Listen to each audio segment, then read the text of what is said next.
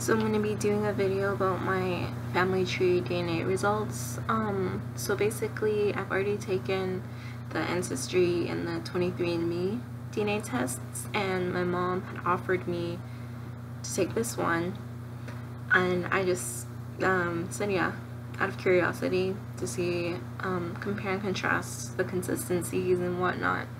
I believe it was cheaper I think she used the DNA from my other tests because I didn't have to spit in a tube again or anything.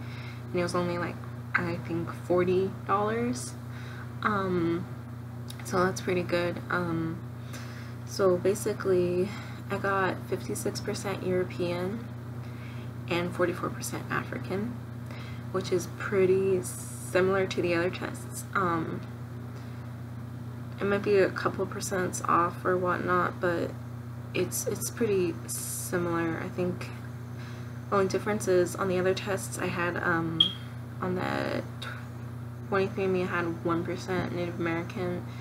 On the Ancestry I had like 1% or like half a percent of Middle East.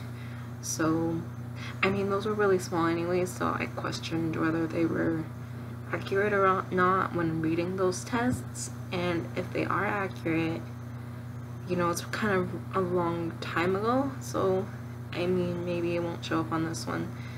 Um, so I got 56% Europe and of that it got I got 38% Western slash Central Europe which it says it goes from the Bay of Biscay near Spain to Western Russia which is like South France to like Czechoslovakia area and all that and then I had 16% British Isles and 2% Scandinavia.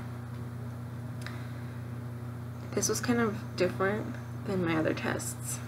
Um, first of all, on my other tests I had like South Europe, like Spain, Portugal region, region I, I think it's called Iberian I don't know if that went into the south, I mean the central western Europe or not, but it didn't show up on this test. And then also, um, my British was a lot larger on the Ancestry and the 23andMe. I mean, 23andMe kind of lumped together British and Irish, and it was like 30% or something large.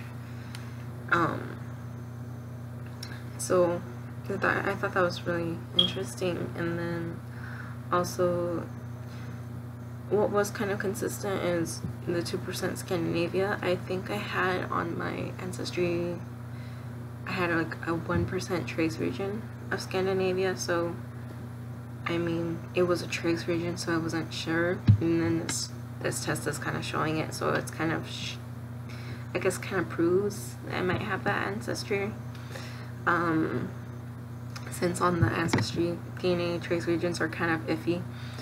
Um, for the Africa, it didn't break up the countries or anything, but I didn't really need them to because Africa's kind of tribes, you know, the, the country borders are kind of made by other people.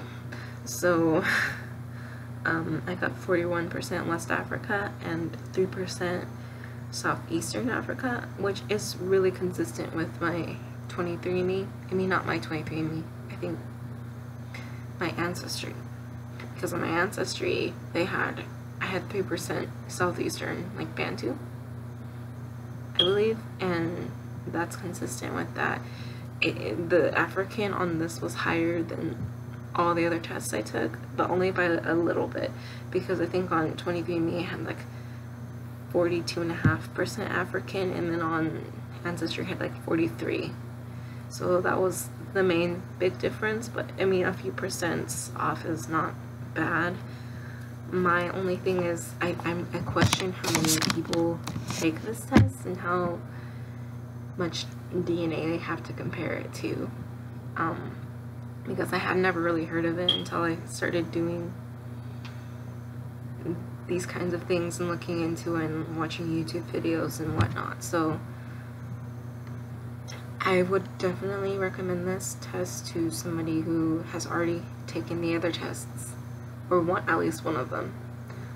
Like I wouldn't recommend this to somebody who's just doing a DNA test for the first time because I don't I question a little bit of it. I'm not sure. I just I think it's something to compare to just to see the consistencies, especially if you've already taken one of the other tests, you can just use that DNA and only pay like 40 bucks for this one instead of like 100 for the other tests. So, yeah, thank you.